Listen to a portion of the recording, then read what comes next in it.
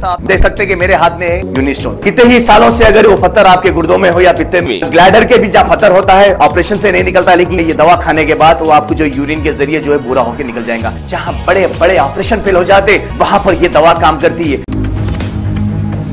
B J P ಏನು ಸಂಬಂಧ ರೀ ಈಗ ಹೋದ ಸಲ ಎರಡು ಸಾವಿರ ಹತ್ತೊಂಬತ್ತರಾಗ ಯಾರ ಮೈತ್ರಿಯ ಎಂ ಪಿ ಅವರು ಯಾರ ಮೈತ್ರಿ M P Congress J D S M P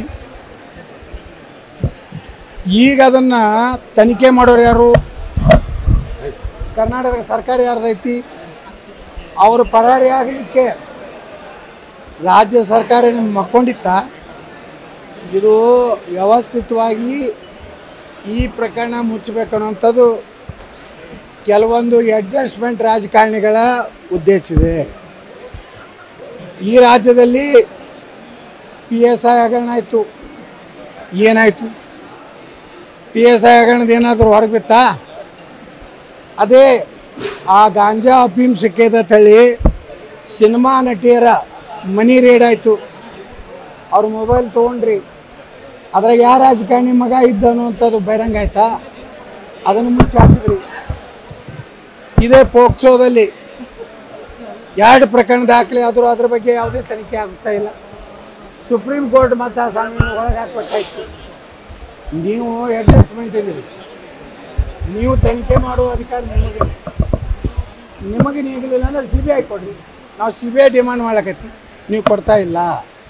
ಅಂದರೆ ಕೇವಲ ಚುನಾವಣೆಗಾಗಿ ಇಂಥವು ಕೆಲವೊಂದು ಮಂದಿ ನಾ ಮೊದಲೇ ಹೇಳೀನಿ.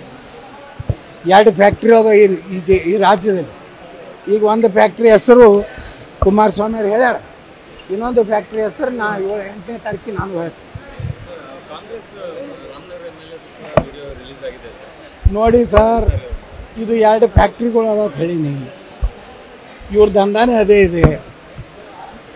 ಇವರು ಇಬ್ಬರು ಬೇರೆ ಬೇರೆ ಪಾರ್ಟಿಯಲ್ಲಿದ್ದರೂ ಅವ್ರ ಬಿಸ್ನೆಸ್ಸು ಸಿ ಡಿ ಬಿಸ್ನೆಸ್ಸು ಒಂದೇ ಇದೆ.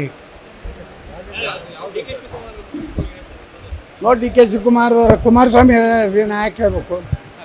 ಇದನ್ನು ಬಿಡುಗಡೆ, ಇದು ಬಿಡುಗಡೆ ಮಾಡಿ ಯಾರು ತಿಳಿದವ್ರು ಯಾರು? ಕುಮಾರಸ್ವಾಮಿ. ಇನ್ನೊಂದು ಪಾರ್ಟಿಯಾಗ ಅದಾರ. ಅವ್ರ ಹೆಸರು ಎಂಟನೇ ತಾರೀಕು ನಾನು ಹೇಳ್ತೀನಿ ಯಾಕೆ ಇವರಿಬ್ಬರು ಹಲ್ಕ ರಾಜಕಾರಣ ಕರ್ನಾಟಕದಲ್ಲಿ ಮಾಡ್ಲಾಕತ್ತಾರ. ಇವೆರಡೂ ಕುಟುಂಬ ಕರ್ನಾಟಕದ ರಾಜಕೀಯ ವ್ಯವಸ್ಥೆನ ಹಾಳು ಮಾಡಕ್ಕೆ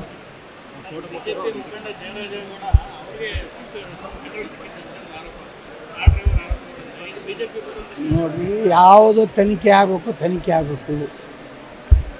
ಯಾರು ಅದನ್ನ ಪೆಂಡ್ರಾವ್ ಹಂಚಿದ್ರು ಅನ್ನೋದು ತನಿಖೆ ಆಗಬೇಕು ಆದರೆ ಅದನ್ನೆಲ್ಲ ಮಹಿಳೆಯರ ಒಂದು ಇದು ಇರೋದ್ರಿಂದ ಗುಪ್ತವಾಗಿ ಇಡಬೇಕು. ಆದರೆ ಉದ್ದೇಶಪೂರ್ವಕವಾಗಿ ಈ ಚುನಾವಣೆಗೆ ಏನು ಬಳಕೆ ಬ್ಲ್ಯಾಕ್ ಮೇಲ ಇದೆ ಇದು ಕೇವಲ ಏನು ಸಿ ಡಿ ಬಿಡುಗಡೆ ಮಾಡ್ತೀನಿ ಅಂತ ಭಯಪಡಿಸಿ ಅವ್ರು ತಮ್ಮ ಚುನಾವಣೆಯಲ್ಲಿ ಆ ಕುಟುಂಬದ ಹೆಸರು ಹಾಳು ಮಾಡುವಂಥ ಕೆಲಸ ಮಾಡ್ತಾರೆ.